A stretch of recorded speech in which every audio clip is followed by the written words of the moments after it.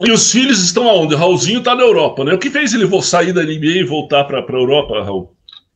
Cara, acabou a temporada e, e, e, aí algumas equipes da NBA falaram que iam, né, queriam conversar com ele, mas que iam esperar fazer os acertos, vamos dizer, com os, os, os, os, caras, os top, né?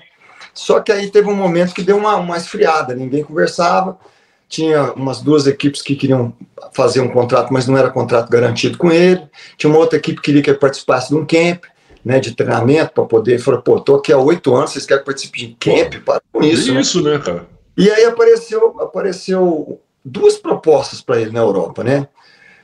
É, uma tava quase tudo certo, mas aí o pessoal, o pessoal na última hora, o, o, o, manager falou que o técnico queria um outro jogador, né? E aí tinha o Fenerbahçe que estava já conversando também, né? E aí nessa do, do, do, do, os caras acabaram acertando com o Campbell Walker, né? Que era o time Sim. que estava quase fechando com o Raulzinho, que era o time lá de, de do Principado de Mônaco lá.